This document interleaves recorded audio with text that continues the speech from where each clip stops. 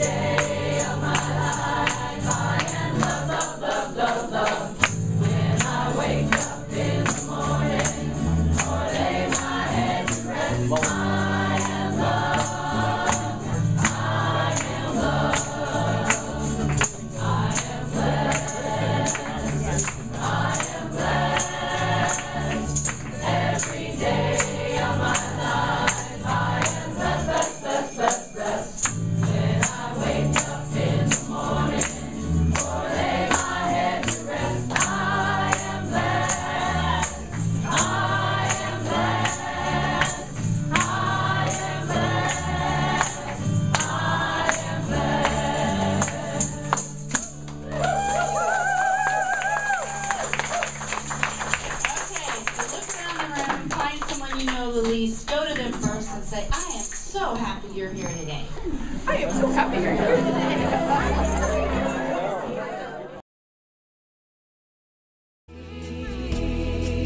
bless all